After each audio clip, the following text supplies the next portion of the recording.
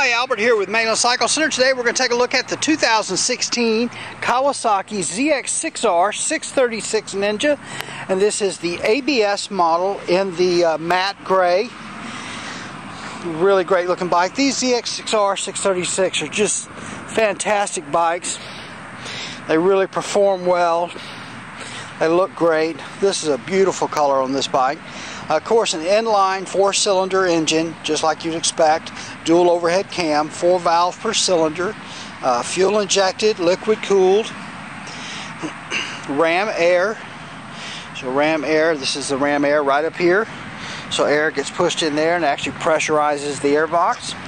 Got Showa inverted front forks, and this has got the Showa separate function big piston forks. So if you'll notice the top of these two fork legs are different. So this one lets you adjust the spring preload and then this one adjusts the uh, dampening, compression and rebound dampening.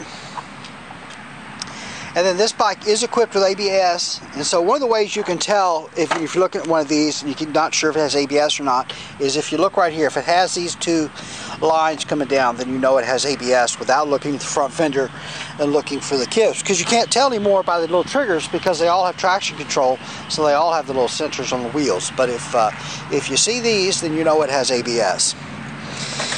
Uh, four piston radially mounted Nissin calipers so you've got two pistons on this side, two pistons on the back. They're radially mounted, uh, four piston caliper squeezing from both sides. Petal style rotors. This is a floating rotor, so you can see that this is two pieces with a little uh, rivet device kind of deal there that actually lets this caliper, this road, this brake rotor float a little bit, and then these, the holes and these cuts in the rotor allow for more surface area to dissipate heat. See your flush mount, clear turn signal lenses.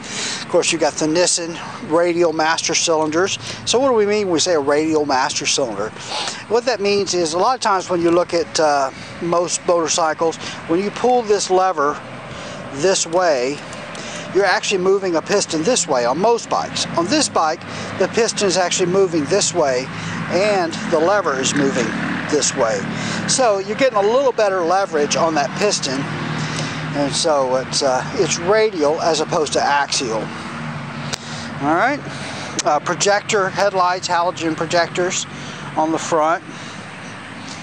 Uh, it does have power modes on these, so you can select full power or low power. This bike's not serviced, so unfortunately I won't be able to turn the uh, dash on for you, but we can take a look at the dash. It has a analog tachometer.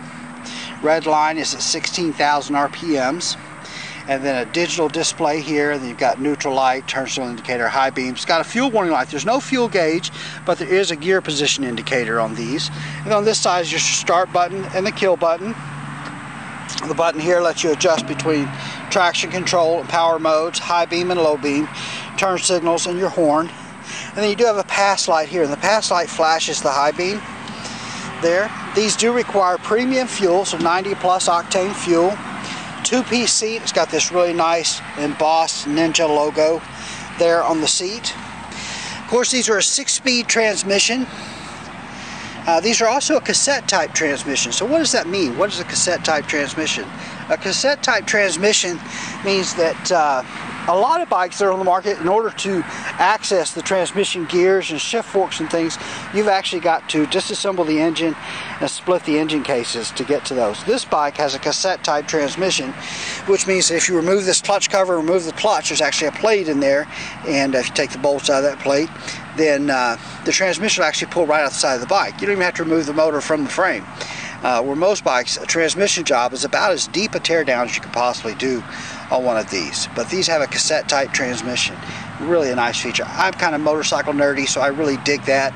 Not that you'll probably ever have to do that. And it's still a, a, a two or three hour job, probably the time you take one of these out and put it back together, at least. But uh, it's much easier than having a two day job where you've got to totally disassemble a motor.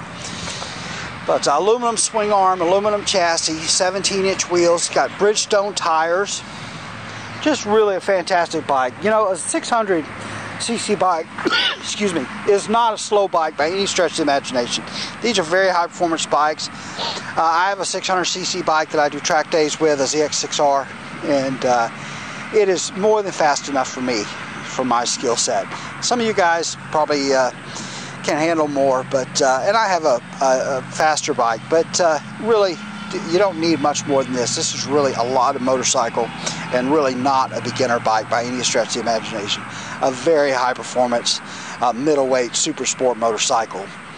All right, well that's a look at the 2016 Kawasaki ZX6R 636 Ninja with ABS in the matte gray.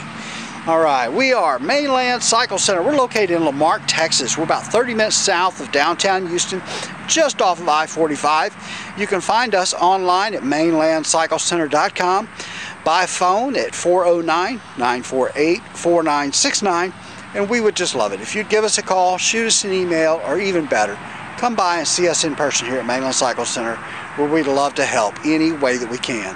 Hey, thanks for watching.